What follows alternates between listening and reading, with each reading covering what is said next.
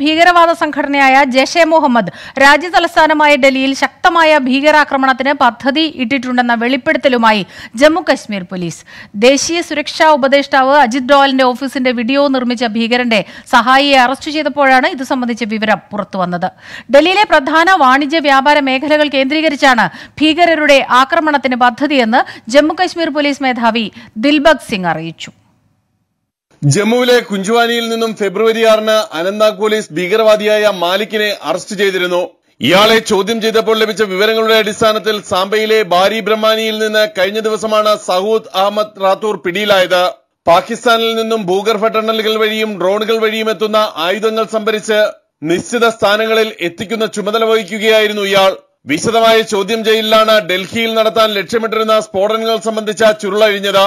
പാകിസ്ഥാനിൽ നിന്ന് പരിശീലനം നേടിയ ഭീകരവാദിയാണ് സഹൂദ് അഹമ്മദ് റാത്തൂർ.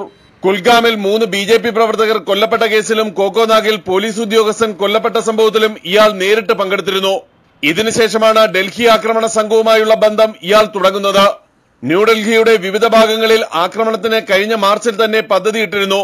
കൊറോണ ബാധ വ്യാപകമായതോടെ ജനങ്ങൾ നിരത്തുകളിലേക്ക് എത്താതായി. ഇതോടെയാണ് ആക്രമണ പദ്ധതി നീട്ടിയത്. അൻപതിലധികം ആളുകൾ ഉള്ളതാണ് ഡൽഹി ആക്രമണ സംഘമെന്നും എന്നാൽ ഇവരിൽ ഏതാനും പേരെ ഒഴിച്ച് മറ്റുള്ളവരെ തങ്ങൾക്ക് അറിയില്ലെന്നും ഇയാൾ പോലീസിന് മൊഴി നൽകി.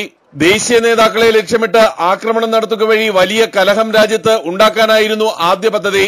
ഡൽഹിയുടെ പ്രധാന മേഖലകളിൽ സ്ഫോടനം നടത്തുകയാണ് സംഘത്തിന്റെ മറ്റൊരു ലക്ഷ്യം. ജനങ്ങൾ കൂടുതലായി വരുന്ന മേഖലകൾ കേന്ദ്രീകരിച്ച് ന്യൂഡൽഹിയിൽ അധികം വൈകാതെ ആക്രമണമുണ്ടാകുമെന്ന് ഇയാൾ പോലീസിനോട് വ്യക്തമാക്കി. ആവശ്യമായ എല്ലാ സഹായവും ഇതിനായി പാകിസ്ഥാനാണ് നൽകുന്നത്. ഇയാളുടെ അറസ്റ്റിന്റെ പശ്ചാത്തലത്തിൽ ജമ്മു കശ്മീർ പോലീസ് നൽകിയ വിവരങ്ങൾ കൂടി പരിശോധിച്ച് സുരക്ഷ ഡൽഹി നഗരത്തിൽ കൂടുതൽ ശക്തമാക്കാനാണ് പോലീസിന്റെ തീരുമാനം. R Radhakrishnan twenty four Delhi. Number one news channel twenty 24